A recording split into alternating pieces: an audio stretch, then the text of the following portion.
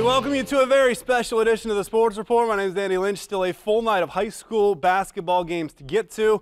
But once again, we take a few minutes to present our fifth annual John Reed Leadership Award presented by TV44, the Reed family, and FCA. We get nominations from viewers across the area for coaches that exemplify seven attributes the late Coldwater coach John Reed exhibited. Our committee evaluates the entries based on Christian character, humility, discipline, life mentorship, leadership, passion, and the pursuit of excellence.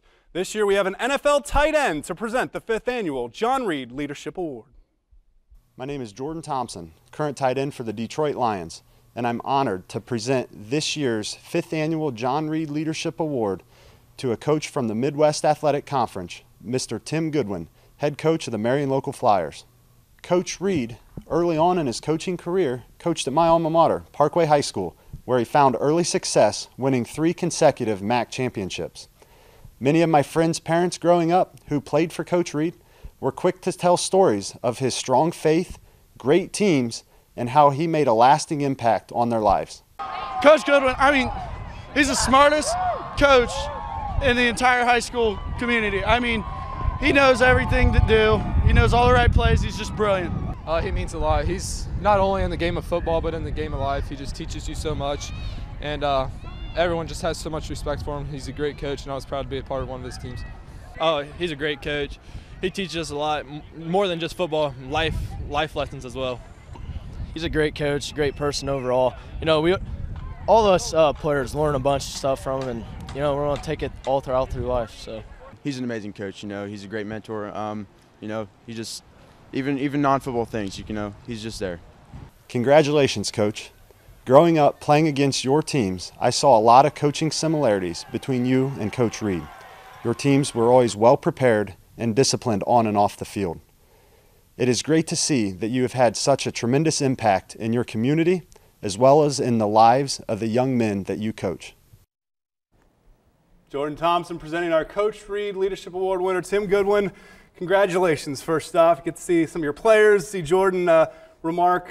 We've had a few weeks to, to process this when we told you about the award. Just kind of what are the things you've thought about when you've thought about John Reed and what this award means? Well, you know, I've, I've been very fortunate to win some awards over the years. Uh, this one is special, um, you know, for what it stands for. You know, I, I, had the opportunity to, to coach directly, you know, against Coach Reed for, for many years. Uh, to be honest with you, it wasn't a lot of fun. Um, you know, going against his teams, you know, they were so disciplined. Um, and you could just see the, uh, you know, the love that th those kids had for him. Um, it was it was very inspiring. We're happy to have David Reed here in studio, one of Coach Reed's children, uh, part of this committee since the very beginning. Uh, we saw Jordan Thompson there presenting the award. Uh, obviously, the, the tie to Coldwater because he played against Coach Reed, the tie to you because he played against your teams too. But Week two of the high school football season this year, Jordan Thompson made an impact on your team, and that was kind of a neat little tie-in that we wanted to highlight as well.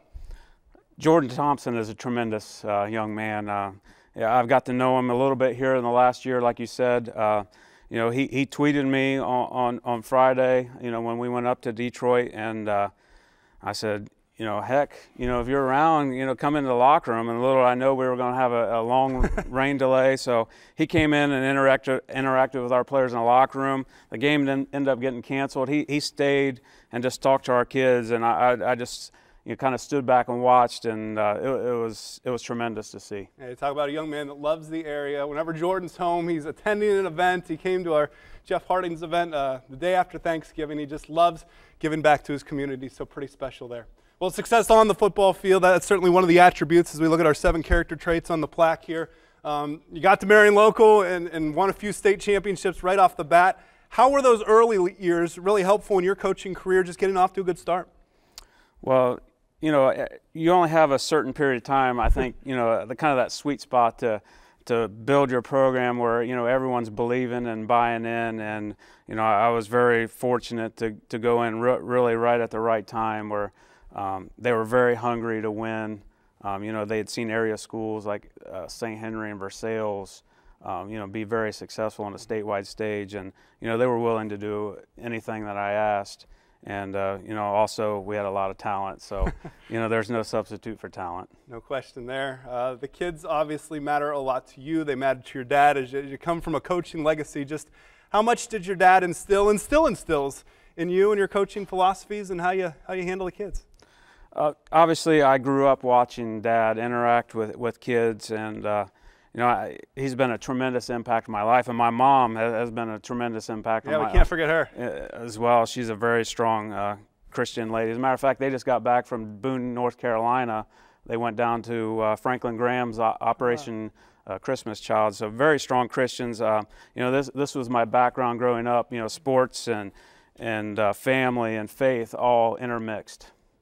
There was a picture tweeted out from uh, the state championship warm-ups. I don't know if you had a chance to see it. Where you guys? It looked like you were warming up in a cross.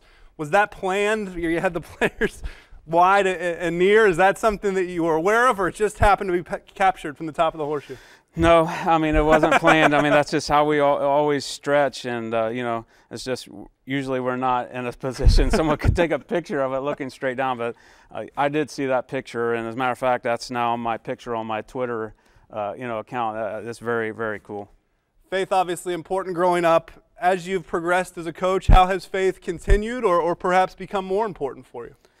It's, it's interesting, you know, as you grow and mature as a person, um, you know, when you're a young coach, um, you're, you're really, really focused on wins and losses. Yeah. And, and, and uh, as you grow and, and, and see the, the relationships with your kids become, you know, just as important as anything else. And I think that's that's the thing that's changed the most in me. Hmm.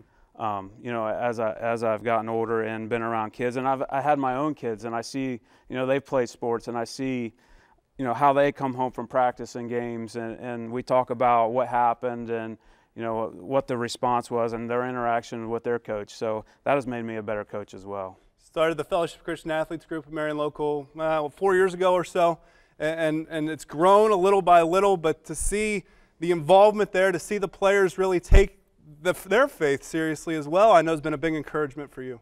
It really has, and you know what's in and, and you hear this all the time. You know when people go on a mission trip, for example, and they come back and they talk about it. You know when I go to our FCA, you know meetings, I I really feel like I get almost more out of them than, than the than the kids do. And uh, it's been it's been great this year. We we have some tremendous leaders this year. You know, along with your help because you really, you know, enabled them through your training this summer that we attended there in New Bremen. But um, you know, I've seen the, the, the, the, kids really grow in their in their uh, faith and and their Christianity this year, and it's been an inspiration to me. Final thing, what's one thing you'd like to say to coaches out there that can encourage them. You know, sometimes you're down, and those Sundays are hard after a, a, tough Friday and maybe even a tough Saturday. But what would you like to say to coaches out there to encourage them where they're at right now? I would say just keep everything in, in perspective, you know, and, and, remember what, what's what's important, and and uh, you know, small things they, they they happen, and you know, some of them are good and some of them are bad, but you know, keep your eyes on the prize, I guess, and uh, and uh, keep that in the in the forefront. All right, Tim Goodwin, our latest John Reed Leadership Award winner. He gets the plaque and a great day, one of my favorite days every year